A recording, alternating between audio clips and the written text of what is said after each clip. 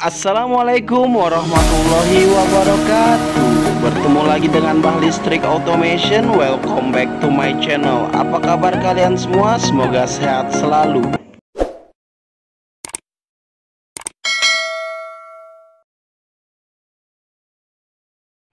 Oke okay guys, kali ini Mbak Listrik mendapatkan sebuah Smart Office Alkolam yang di mana kerusakannya ada suara tapi tidak ada gambar.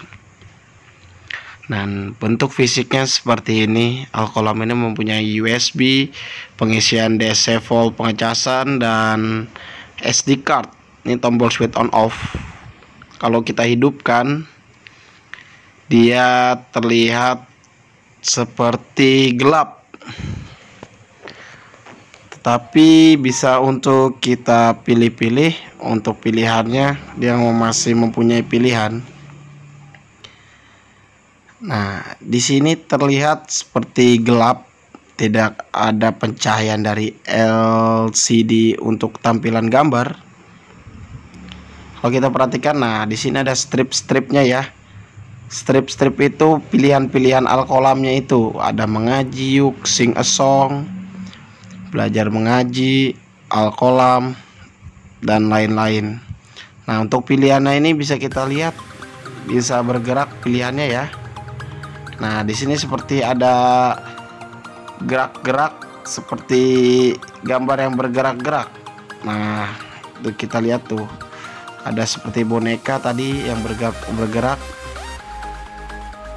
Nah, suaranya ada dan lampu LED ini bisa hidup.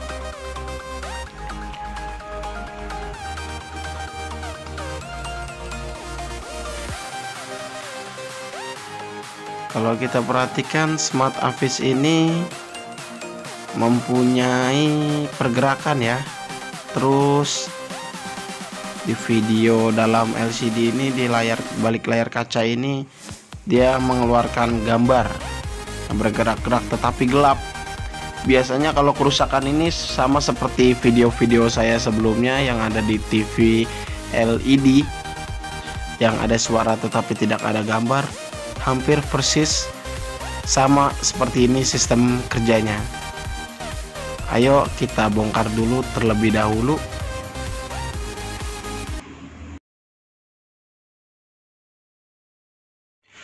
Kita buka baut-bautnya dulu. Di sini ada 1 2 3 4 5 6 7 8 9 baut. Kiri 3 kanan 3 atas 3 kita buka saja baut-bautnya menggunakan obeng kecil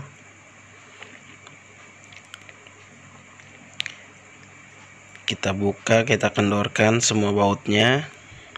Langsung terbuka. Kita lepaskan. Nah di bawah ada pengkait karetnya kita cabut aja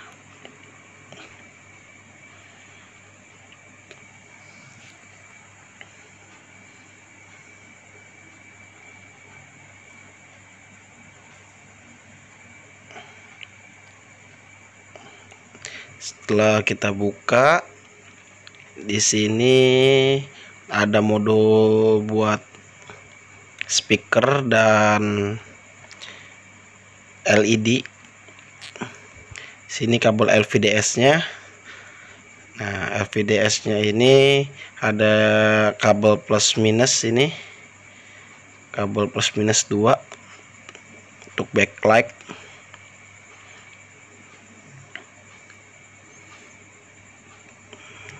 kita buka kabel FVDS nya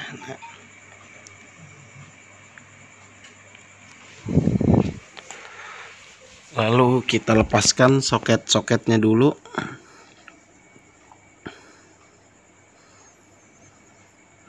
Kita lepaskan kendorkan baut pengait untuk LCD kita lepaskan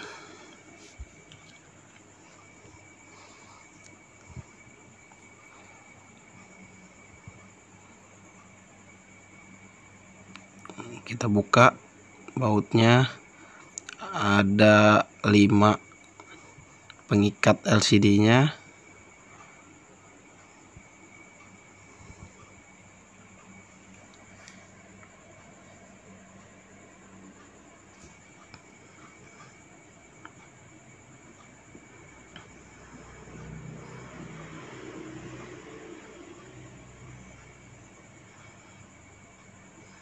lalu kita lepaskan pelan-pelan kita ambil LCD nya nah bentuk LCD nya seperti ini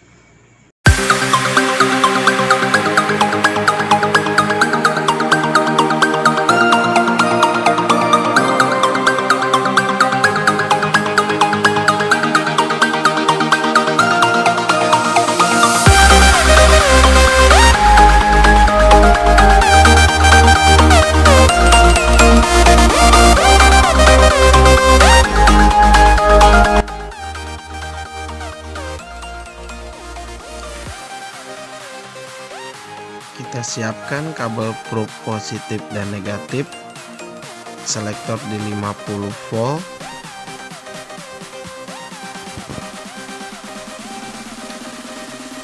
Kita ukur nantinya. Kita on kan dulu. Nah, setelah itu kita ukur probe plus di plus probe min di min. Yang ada tanda solder itu itu untuk supply VCC untuk backlight ya. Kita ukur berapa VCC nya ada apa tidak. VCC keluar ya jarum naik. 10 volt DC itu menandakan tegangan supply VCC dari mainboard itu ada tetapi tidak hidup lampu itu. Kenapa demikian? Ayo kita cek apakah lampunya putus setelah kita buka LCD dari lampu. Setelah kita buka LCD nya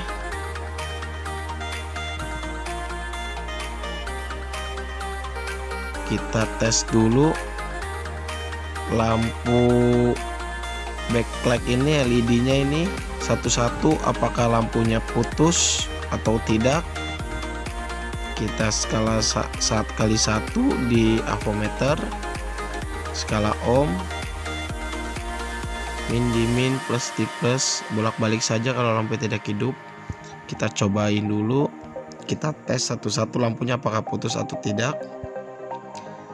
Lampu pertama hidup. Lampu kedua hidup. Lampu ketiga hidup. Lampu keempat hidup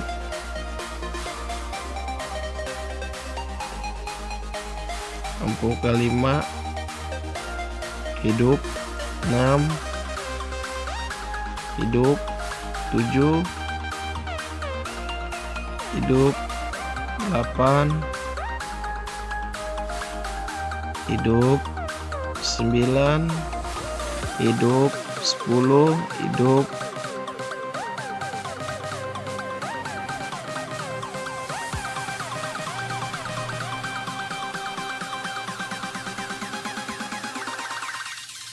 sebelas hidup dua belas hidup tiga belas. Apakah mati apa hidup? Hidup ternyata. Hidup. Hidup. Hidup.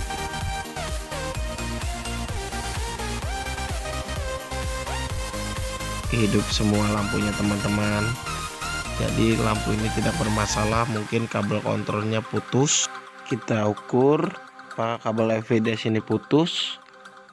Negatif diukur jalan ya tersambung. Positifnya kita ukur.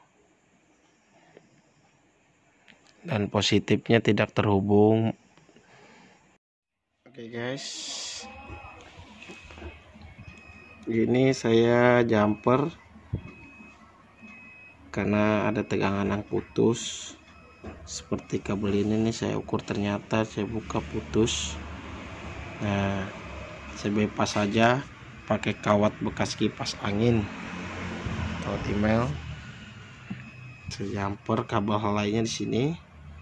Ya ke LVDS nya ini. Ada gambarnya nih. Ada lambangnya. Ada positif ada negatif itu untuk backlight yang disuplai dari tegangan FVDS ini. Nah dari sebelah kiri itu sebelah sini paling ujung itu positifnya yang sini negatifnya. 12 positif 34 negatif. Nah karena biasanya tidak ada gambar tapi ada suara itu backlight itu putus atau tidak ter, atau tidak hidup nah tadi kan di video sebelumnya kita kasih center dia ada gerak-gerak kan? Nah ini tidak hidup backlight ini. Coba kita hidupkan dulu apakah berfungsi backlightnya. Dan ternyata ada suara sudah. Dan backlight pun sudah menyala. Ini kalau diletakkan sini ada gambar nanti coba ya sudah saya taruh di sini. Kita hidupkan lagi. Dan ternyata Hafiz ini sudah berfungsi dengan semestinya teman-teman. Ya kan nah, oke tinggal kita rapikan. Dan sekarang coba kita hidupkan switch belakang on off nya ini kita hidupkan Hafiz ini sudah berfungsi dengan semestinya. Ini pilihannya ya. Cukup sekian tutorial dari Mbah Listrik Automation